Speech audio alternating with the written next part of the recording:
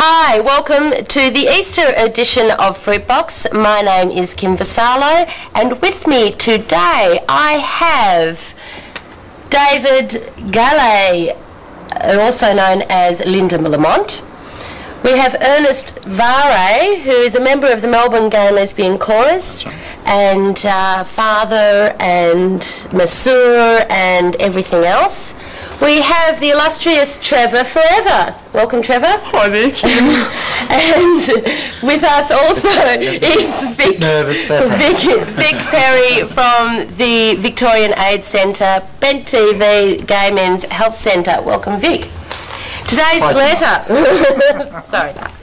Today's letter is anon- an anonymous one, and reads, "Hi." I am a 15 year old gay guy, and last month I went to a friend's birthday party. We had a little too much to drink, and I got into my friend's sister's dress and did a drag show for my friends. What I didn't realise was that someone who knows my dad was there. The party went all night and was even videotaped. I live at home with my dad, and since that party, he has been very cold with me and rarely speaks to me. I'm afraid that he has seen the tape, which could explain his attitude. I am not out to him and fear that he might kick me out of the house. Can I get some advice? Thanks for taking the time to read my letter on air. Well, who would like to talk to Mr. Anonymous about his fa- problems with his father? Um, I, I would like to say something. Uh, I have a lot in common with this uh, person that wrote in because I too like to be anonymous at certain times, and certainly that does help. But um, yeah, a little bit. My head hurts a little bit, for the ears seem to be squishing things in a little bit. But I'll try and get past the pain. Um, Mr. Anonymous, I think perhaps if your dad's not talking to you, maybe you need to hang around his office.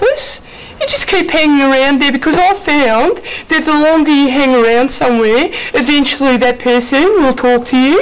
And uh, sometimes they don't necessarily say what you want them to, and sometimes the police get involved. but uh, more on that later. But uh, certainly they will speak, and uh, you just keep waiting, and waving is always a good way to do. Yeah, thanks, Kim. Uh, thanks, Trevor. Ernie, do you have some pearls of wisdom? Well, I think Trevor summed up that quite well, actually. But um, I, I'm sort of wondering where, whether Mr. Anonymous might have some paranoias of his own. It may not be his father that's the problem here. Um, we've all gone to parties. We've all done a few things that we don't like and or, or ashamed of later, a bit embarrassing. But um, I think maybe the best avenue is to go and talk to your dad. Ask him what the problem seems to be.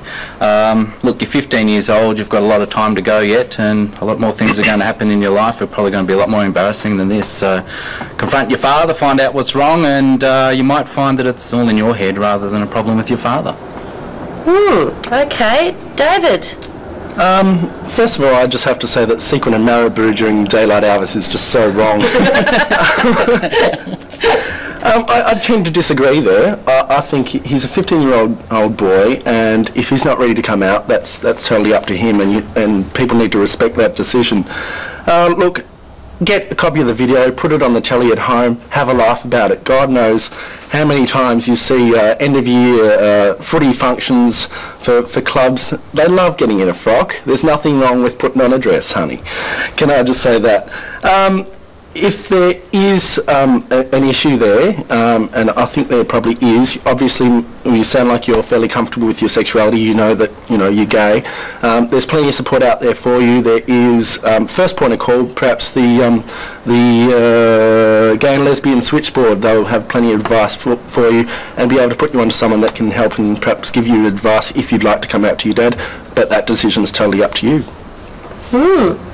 Vic, any more to add? Um, uh, part, I, I agree with uh, with both of you about um, talking to your dad. Um, talk to your dad about this sort of cold shoulder or sort of attitude that he's got. Um, don't mention the party or don't uh, allude to what you did, just in case it- it's got nothing to do with that.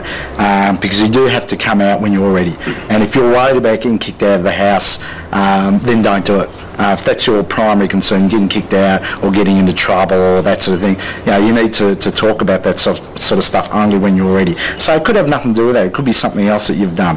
Um, and at 15, you know, I got up to a few things when I was 15, so it could be anything. Um, and with uh, getting support or information, uh, apart from going Lesbian Switchboard, there's uh, Minus 18, uh, which is a, a fantastic organisation, and uh, you can get in touch with them and they can uh, give you some sort of support. But, you know, dressing up in drag or just having fun at a party. I mean, everybody's done that, and you know that doesn't necessarily have anything to do with your sexuality anyway. I mean, a lot of straight guys have done it. Just watch a footy show every Thursday night, you know. Um, so just yeah, have a talk with your dad and, and just find out why he's got this sort of attitude. So, um, but don't necessarily come out to him if you don't if you're not ready for it. Yeah, do you think he should like stay in his room?